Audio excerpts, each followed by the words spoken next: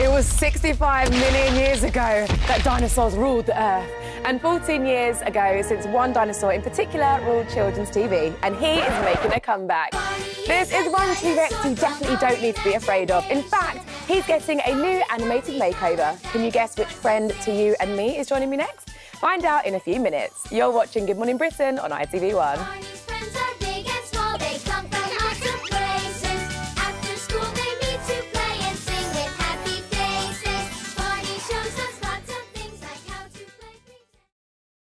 Remember being in that jungle, surrounded by trees, listening to the sounds of the rainforest, no one else around, like being back in prehistoric times.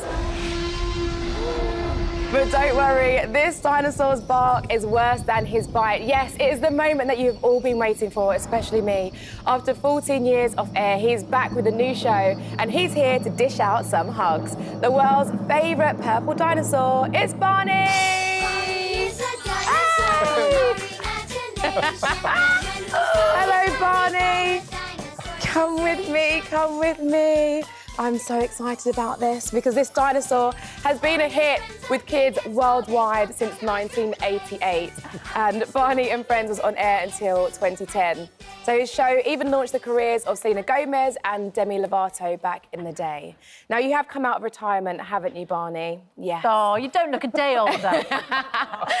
and he's been all jazzed up as a cartoon character in the new, brand new show, Barney's World. The new show has the same message love yourself, love others, and love your community.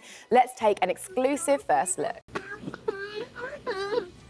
Where we play the I love you. I love me too.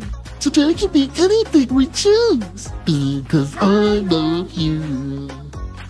I love you. Aw. Aw, I You can catch the first season of Barney's World on Cartoonito now. And with 14 years off the air, Barney and I have got a lot of catching up to do. So there you go, Barney.